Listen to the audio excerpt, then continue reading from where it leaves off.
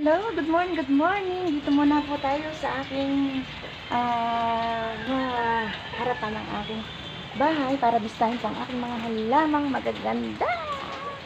Good morning, good morning po. Bisitahin ko muna ang aking mga halamang magaganda. Tabara, kumusta kayo? Kumusta, kumusta? Kumusta, kumusta ang aking mga halaman? Natuyo na po kasi maganda po naman ang panahon, tagulan. Kaya kailangan po namang malinis. Napapabayaan ko na po sila sa aking mga halamang magaganda.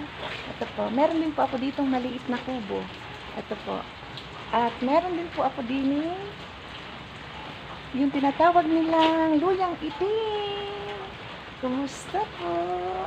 Kumusta po? Kumusta po ang aking mga halaman? Para po maipasyal ko kayo sa aking halamanan. Ito po yung aking pinagkakaabalahan kapag ako po ay narito sa bahay. Ito po ang aking garden.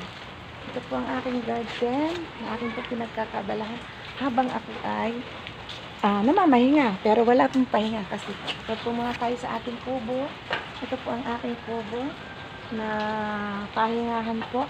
At ito po. Ito po ang aking kubo habang ako ay namamahinga. Maraming maraming pong salamat sa inyo mga tiktokers ng Nanay Commander. Salamat po sa suporta ninyo sa akin. Maraming maraming pong salamat. Kaunting ingat po kasi po maulan, mabagyo po dito sa Luzon, Visayas, Mindanao.